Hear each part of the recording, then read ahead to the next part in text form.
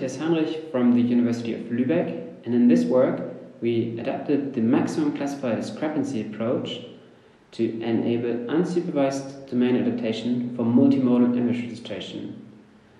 In our case, we used a discrete registration task of T1 to T2 MRI slices of canine legs and proposed a new Earth movers discrepancy measure that's more sensitive to 2D histogram changes than the state-of-the-art uh, sliced Wasserstein distance.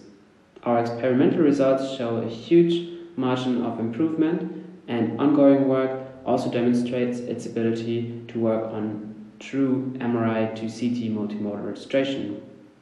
More details can be found in the paper and our short oral, and I look forward to seeing some of you at the next meeting which is happening in Lübeck.